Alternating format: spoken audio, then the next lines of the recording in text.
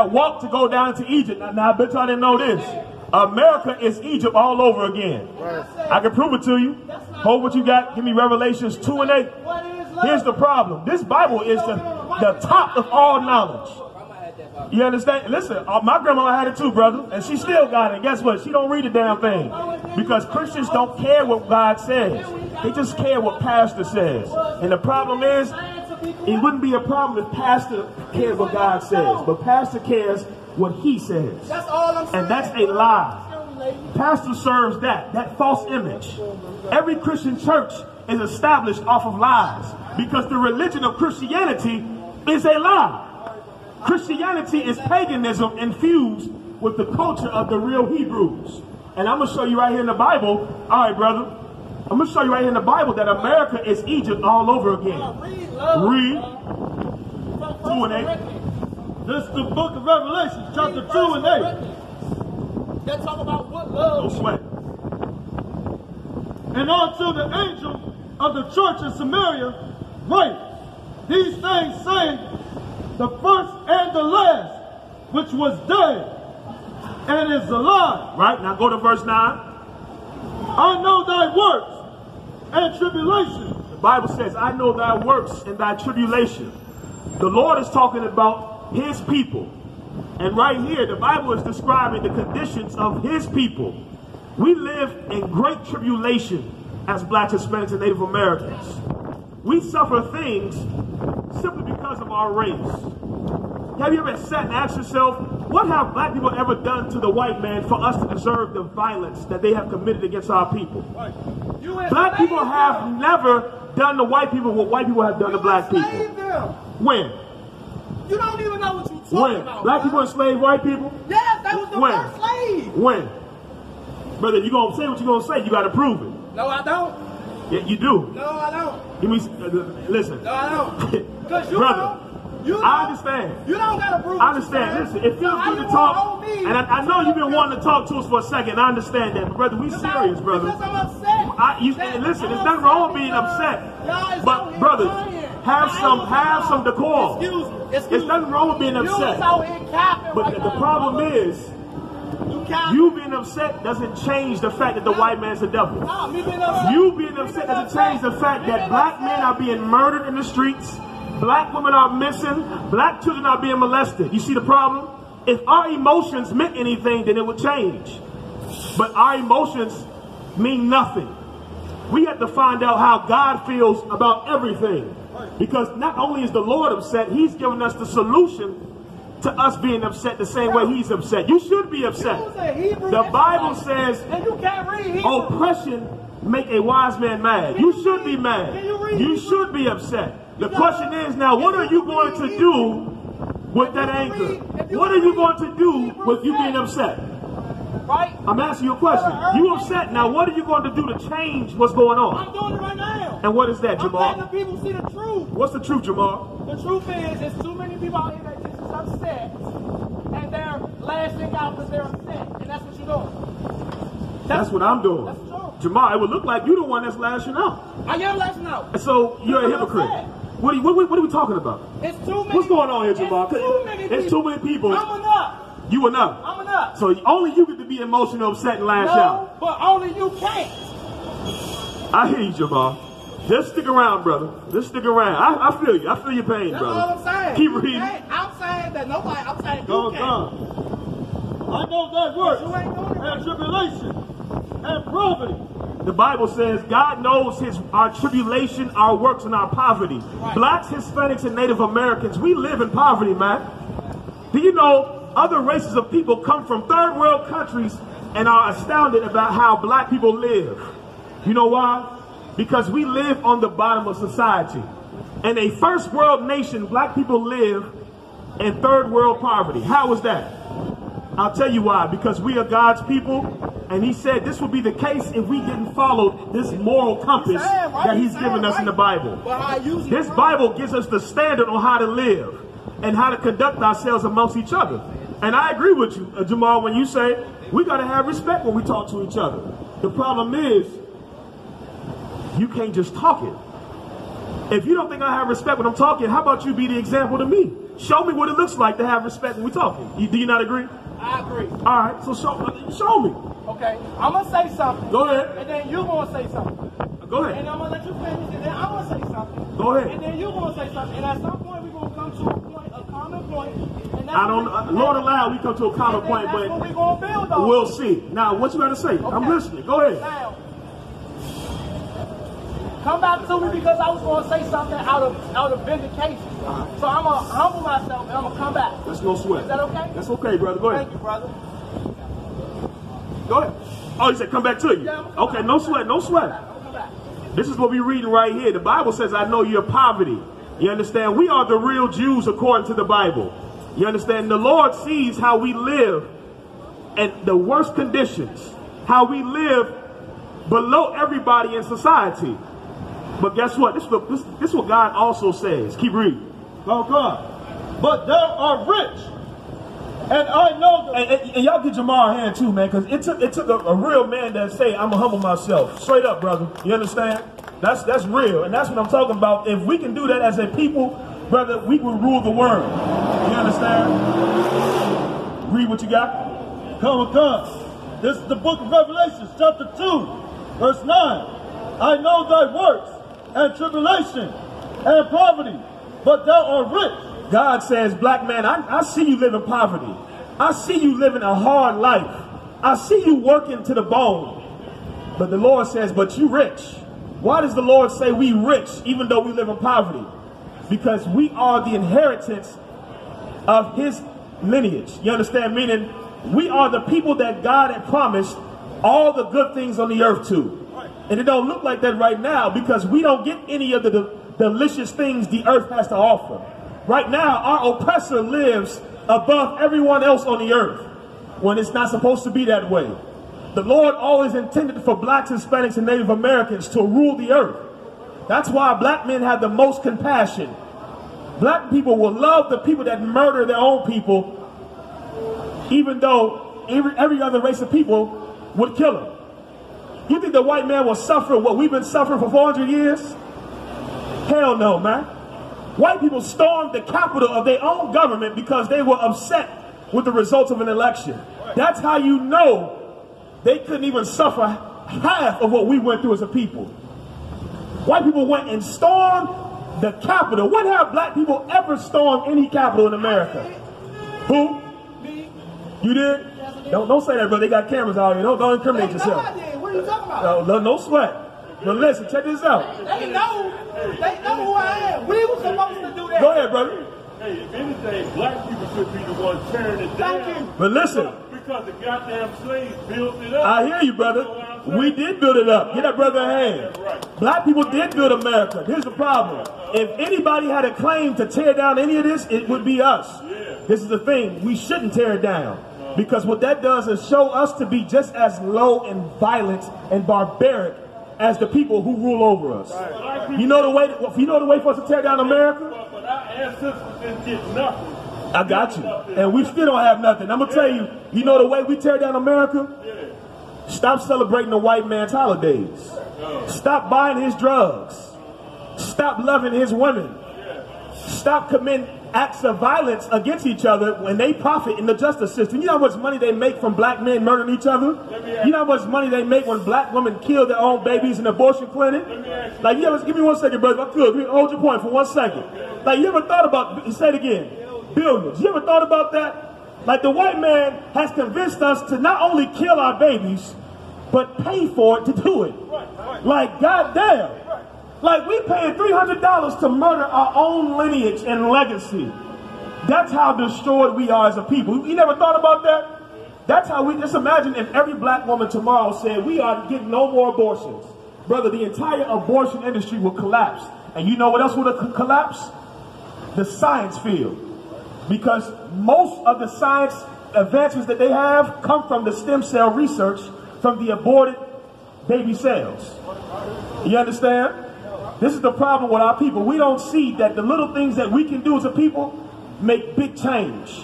We think we got to be violent like the oppressor, and that's not the way to do it. If you could, that's not the way to do it. The way to do it is to have a moral code. Because these people don't have a moral code. They won't even apologize for what they've done.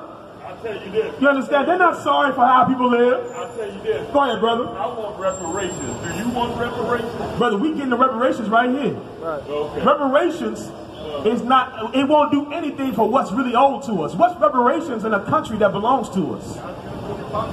I mean, We built this nation. everybody else got their reparations. Hey, Mr. White. This is the thing. We built this nation. Hey, listen. It's, let me ask you this. The slave master got their reparations. They did. Right. When they freed the slaves, they gave slave masters reparations. Now let me ask you a question. If somebody stole your house and then they gave you a lump sum payment for the house after they stole it, would that be sufficient payment to you? Why not? Hold up, hold up. If somebody stole the house that you built and they lived in that house for decades and their children lived in that house and their children's children lived in that house and finally they decide to give you a payment on what they think the house is worth. Is that sufficient payment? Oh, hell no, man. Exactly. Reparations wouldn't do anything for what they really owe us. Brother, at this point, it's not even about money. They owe us in blood, brother. No, reparations. They owe us in blood. What And God is going to get the blood that is owed us because that's justice. It's You understand? It's more than just money about reparations. Brother, what, does reparations mean? It's more than just money. What does reparations mean? to, to many different people. It's more than just But, well, what does the word mean? you, you know, you know. Payment to repair something. Yeah, that's right. So you telling me there's an amount of money or that what can white people do to repair what they've done to us? And let me ask you that. What can the white race do to repair the 400 years of bloodshed? What that sign there? What a lynching sign?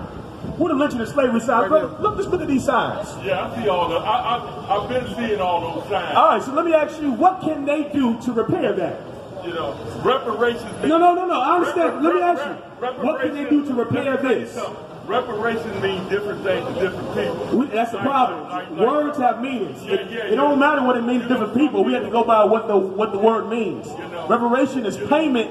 In order to repair something. That's and it say right. the specific way of payment, but nevertheless it's a payment And all that- to repair. Now I'm asking you, what can white people do to repair the 400 years of this? Say it again, brother. Get a brother a hand. It's at this point, brother, it's nothing they can do. And this is why Christ is going to come back and he's the one that's going to judge the earth. That's why it's called Judgment Day. Because it's required, their- their blood is required at this point, brother. Yeah, yeah, Us, us, you know they Hey, murdered hey, our hey, foremothers and forefathers? Hey, some, some people, you know, everybody has, everybody, everybody has their own opinion. That's the Right? problem. We don't talk about our opinions. We talk about God's opinions. Uh, You know what I'm saying? Yeah. We talk about God's opinion. I mean, his opinion should be the one that matters. You know what I'm saying? You believe in God? yeah. Listen, me too. And do. we talking God's words, God's opinion, not our opinion. Because, and listen, if it was up to me, my old man, I would say, give me an eight ball. And that's for payment for, for the things you've done to my people. You see how destroyed we are? Yeah. If you asked me a couple years ago, I say, well, the white man came to me, well, what do we have to do to repair what we've done to your people? I'm like, nigga, give me an eight ball and we square. But listen, I changed my life as a man learning what God says. And I don't want what I want. I want what God wants. And I can show you what God wants. Give me Revelations 13 and 9. You understand? I'll show you what God wants. The Jews got what they wanted from the Holocaust. Listen. And there's so many And they still getting paid for the And Holocaust. there's so many different situations going on You with many understand? different people. They still getting paid for the Holocaust. Meanwhile, they didn't give black people anything when they so-called abolished slavery. Yeah, You black- understand? Black people, black Mhm. people is the most disrespected Yep. on earth. Read that now. What's this guy's opinion on the matter? Go ahead. Now, this is the book of Revelations, chapter 13 and 9. If any man have an ear, let him hear. God is saying, if any man have an ear, let him hear. This is not referring uh, literally. It's saying any man that can understand this, understand this. Read. He that leadeth into captivity, Read again. he that leadeth into captivity, So God, get that slavery sign on the camera, Bob Shah. He that does what? Leadeth into captivity, He that leadeth into captivity. Our people were led into captivity by the white race. You understand? They did terrible things to black people.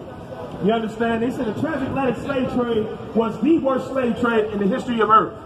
Because of the things that they've done to our people were unspoken of. There are entire black towns that are covered by lakes now because America's trying to hide the heinous history of their people. That's why they don't want to teach critical race theory in the schools because they know just how much of a devil they've been to God's people. Well, this is God's opinion on the matter. I ask you, what what can they do to repair it? Nothing. But this is what God says He gonna do to repair it. Read. He that leadeth into captivity shall go into captivity. He that leadeth into slavery shall go into slavery. It sounds strange to you, but this is what justice sounds like. This is real justice. And we hate to hear it as a people because slaves have been deprived of justice. Slave man. That's why the police, they abuse black men and emasculate us and expect for us to take it. This boy, get, go, get, get on your way, boy. You ought to be lucky I let you live. Because slaves are not allowed to feel the emotions of a free man. Well, guess what? The Lord wants us to be free. And justice and anger are emotions of people that are free. That's why white men, they went to their death going against Britain because they said, Patrick Henry said, give me liberty or give me death. You see that the white man, he stand up for liberty and justice for his people because he's free. Black people, whenever we say we want justice and we read what real justice is, then all of a sudden we a hate group and we racist. Folks got different things about history. The Moors ran, uh, conquered Spain. No sweat. We gonna get some more what God's opinion is. Read. years. I know. He that leadeth into captivity shall go into captivity. The white man is going to go into slavery for the crimes of his people, and that's justice. You understand? That is absolute justice. When Christ comes back on this earth, Christ is coming back to save his people. You know how Christians always say, I'm saved, I'm saved, I'm saved, sanctified, filled with the Holy Ghost, hallelujah, and all that garbage. You ask a Christian, what are you saved from? What is it exactly are you saved from, huh? Nothing. That's the problem. You see how stupid that is? You're right, it don't make no sense. This is what you got to tell them. Christ is coming back to save the people that need saving. Who needs saving? Oh, I was a born again Christian. What is that shit? Yeah, listen, it's, it's a joke, brother. It's a joke. Born again. You the same nasty Christian you was when you came into church. Because the Christian church doesn't change our people. This is the thing. The Bible says, "He that leadeth into, into captivity shall go into captivity." Keep reading. Come, come. He that killeth with the sword must be killed with the sword. Now, this might sound like hate speech, but the reason why you think this is hate speech is because you've never heard this in the Bible because your pastor does not teach the Bible. This is real justice. The Bible says, He that killeth with the sword must be killed with sword. And I'm going to show you how hypocritical black people are when it comes to white people. Whenever a brother is gunned down in the streets, and he was a brother that was a gangbanger, what do black people always say? Live by the gun, die by the gun. We can accept when we get what we deserve. But whenever we say the white man has to get what he's deserved, oh, brother, that's, uh, that, I don't know, brother, that sounds a little rough there. I don't know if my Jesus or my God want me to feel like that. You are a hypocrite. Because if a black man was gunned down in the street, you would say, live by the gun, die by the gun. Right. He was in, the, you know, he was in them streets. Well, guess what? You know the white man is the devil. You know he only hung black men. Right. You understand? From trees and poles for no reason. Right. Black men went and served in all these goddamn wars and came back heroes and were lynched in their goddamn uniform. You telling me pray for Ukraine? telling me join your stinking army? I'll be damned if I join your stinking military, man. When you ain't never respected the sacrifices of black men in uniform. You understand? Keep reading. They're not talking about the part that black people. Here is the patience and the faith of the saints. The Bible says, here's the patience and the faith of the saints. I know it's easy to say, let's go storm the Capitol like the white man, and let's go get guns and shoot all every white person we shoot. But that's not what God wants for us to do. God wants us to be patient and knowing that justice is going to be served for our people. The white man is definitely going to pay for his crimes against God's people. The thing is, it's not up to us to lift a finger to do it. The way we get justice is by not following after the white man. You want to see America fall? You want to see the people that murdered our forefathers go down? Don't be like them. Don't get high like the white man. Everybody think black people are drug addicts and the biggest drug dealers. Well, I, brother, I ain't never seen so many drugs in my life being around before being around white people. White people are expert drug addicts and drug dealers. You understand? They know all about the, all the different bongs and all the different, you know. I learned about an eight ball from a white boy back when, you know, the old man. You understand? They are the drug dealers and the criminals. You understand? Wait, we, you know, black man, he'll smoke a joint and, and drink a beer and go to sleep, and, it, and it's wrong to smoke. But you get around white boys and they show you how to hit a bong and, and from, you know, and put a, you know what I'm saying, all type of put the beer joint in your butt. And so you can, dude, you know, you, you get drunk faster if you put the funnel in your, in your, in your anus. All type of wild, deviant things, because that's what they are. They are a race of people that are deviant and profane, like the Bible says. And we shouldn't be like them. You know what I'm saying? Every black man, you notice when I said that, even Jamal, you look like, like what the hell you talking about? I'm trying to figure out why you put that on the broadcast. But I ain't going to speak on that though. I Listen. just, I just want to say my piece. Because he knows the truth. I just, I just, Listen, he knows the goddamn truth. We ain't up here telling our opinions. This is the facts. This is reality. Your Christian, your Christian pastor, he ain't gonna talk to you in reality. He gonna talk to you in Jesus' land. You understand? With Jesus' words, when it's not really the words of Christ. We deal in reality, and this Bible deals with the real deal Holyfield reality. You understand? We are better than, them- than them as a people. You understand? Go ahead, Jamal. uh, two things. Go ahead. First thing, it was a man. And I'm, I'm paraphrasing. Uh-huh. Matter of fact, I'm making this whole story up, but you should be able to relate. It was a man that got sick on the road, right? And he passed out on the side of the road, right? We're going to say an Asiatic brother, right? He was on the road, he passed out.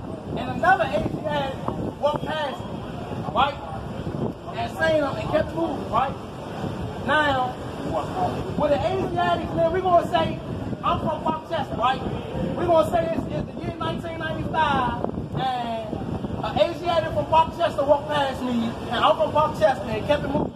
But an Asiatic from Conaturns came past me and helped me up. Do that sound familiar? It sound like you. It sound like you just made it up, like you said. You just made it up, right? You just said you just made it up. Okay, boom. Yeah, you just made it Now, up. I know Here's the problem. Hold on, I know of Here's the problem. No, no, let you speak. Now, did I cut you off, Jamal? Hey, A I just cut you off. A Samaritan woman, Did I cut you off? right, was walking down the road after a priest just walked past a man on the road. Now you bring up the story of the Good Samaritan. Now, what's your point to that? Now, bring up. What's your point? It's the same story. Okay. Now, now, what's your point of telling the story? That's what I'm asking you. My point in telling the story, is, now this, I had two parts. You make it quick. Now, my, now, now, now, what's the point? My point in telling the story is, right, for a person to cast a curse on another group of people that is not their people, but meanwhile, their own people, they're not caring for. I got what you're saying.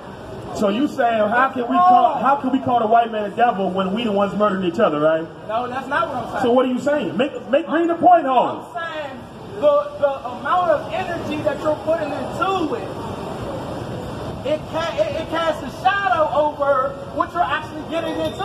Well, that's your opinion because Okay. There people out here that are absolutely knowing we agree to exactly what I'm talking about. We agree to disagree, right? Now the second thing is, Go ahead. we was having a conversation about reparations, right? well we were. But go ahead. no, we were. We were. Okay, go ahead. We'll go get to the point. Get to the point, Jamal. Now, the so-called white man, I asked him, I said, are you a white man? He mm-hmm. says, yes. Right. I say, why do you call yourself a white man? He says, because I grew up in a white community and they told me that's who I am. Right? I said, would, are you against paying reparations? He said, no. I said, would you be willing to pay me reparations? Uh-huh. He said, yes. Now, this is where the law came in. Right? Now, I was Speed it gonna- up, speed it I up. was going to say, give me all the money in your pocket right? To test him. But I said, give me two dollars. Is that what happened? And he pulled, he opened up his wallet, and he gave me every dollar in his pocket, which was how much? It was two dollars. Now what? Now what's your point for saying that? I need to get to the point. My point of saying that is that that conversation right there, that happened, everything that you Uh-huh. Right. right, leads to peace. Go ahead. It to pursue. Majority of them is scared of it. They said they said so that white man giving you two dollars leads to peace. Yeah. You can see it How? even walk down here. Because now see it come down. nobody can say that So you'd have somebody gave you anything if you say universally, oh, you, you people are universally scared. white, scared. racist, brother was prejudiced, scared. Around these biased, whatever. So you telling me because a white man gave you two dollars, He was scared. somehow that makes him a good white man. No, man? he No. was scared. You see how you White take all my words scared. and you Okay, so what do you? oh, That's that's what I need you to explain. What what's the point of you telling me all of this? What are you trying to say? Because I'm gonna draw the point that I think you're trying to say if you don't tell me. It sounds like you're saying the white man, this one white man that gave you two dollars excuses 400 years of slavery, rape, murder, and lies. Is that what you're saying? Bro, Oh, so- I'm 28 years old. What are you saying? right? Go ahead, Jamal. What are you saying? I'm saying? 28 years old. Wh- What are you saying? I've been arrested multiple times. What's the point? Of them were black.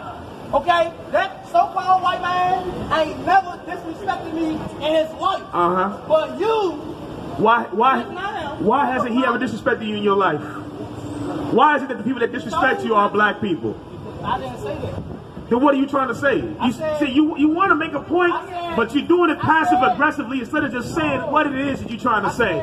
You want us you want us to forgive white people and excuse what they do to us because that, black people do things to other black people. I'm telling you what you want to say.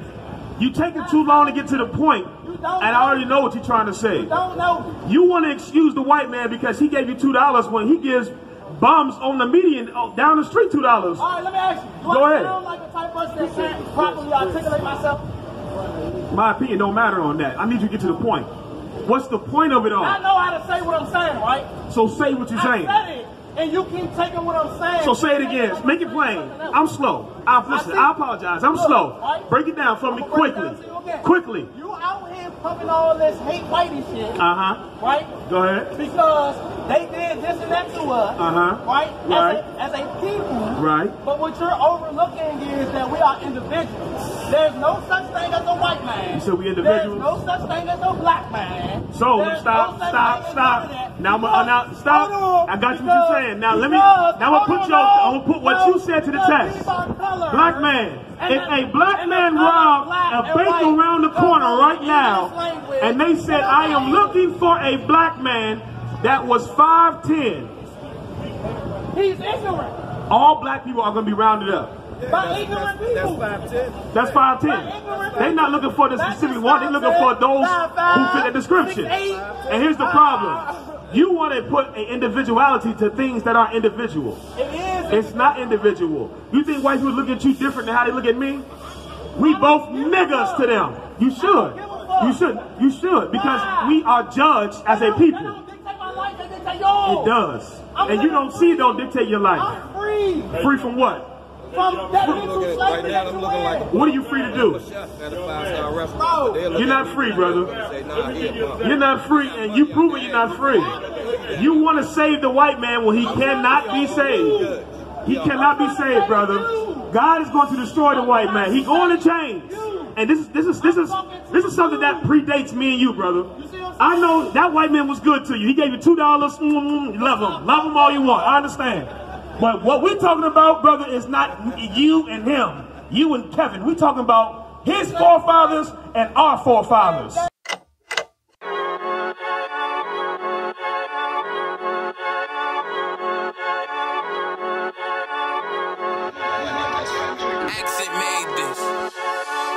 They say they wanna hear that raw shit. These niggas claiming that they bullshit. These niggas better move and coach shit. If they